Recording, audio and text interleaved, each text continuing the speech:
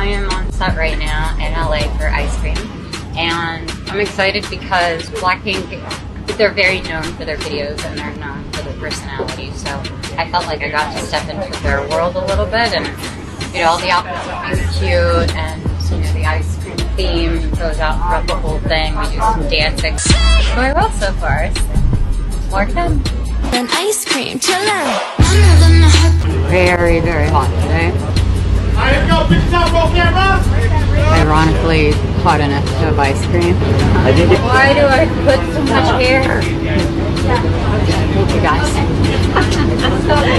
and the girls and I got to speak while they were in Korea. And So good to see you.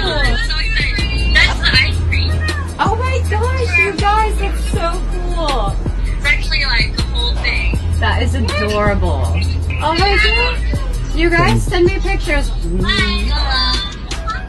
I love them. they were just having the best time, and I just I wish that I was there with them. I kept saying that because I guarantee you, there's this synergy that we could have if we could be in the same place. But we're being safe, and it's really good, and everybody's happy. Ice cream, ice cream, ice cream.